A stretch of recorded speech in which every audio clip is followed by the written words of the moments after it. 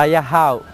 Hao, hola a todos, buenos días. Yo soy César Peinbert, Master en Feng Shui, y hoy miércoles 14 de octubre el signo zodiacal chino que está reinando es Shi, el cerdo de agua. Es excelente para todo lo que tenga que ver con los envíos del dinero, así como procedimientos estéticos en cualquier área de tu cara o cuerpo.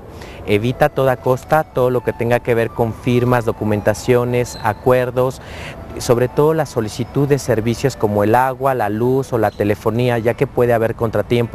Evita también cortar todo lo que tenga que ver el césped, ya que puede dañarse o secarse a largo plazo. El tipo la recomendación que te doy el día de hoy es que portes algún accesorio o vistas en los colores amarillos para atraer la riqueza. Recuerda, Shi Yong Shi Wang, ten esperanza y nos vemos el día de mañana. Min Tian Yen, xie.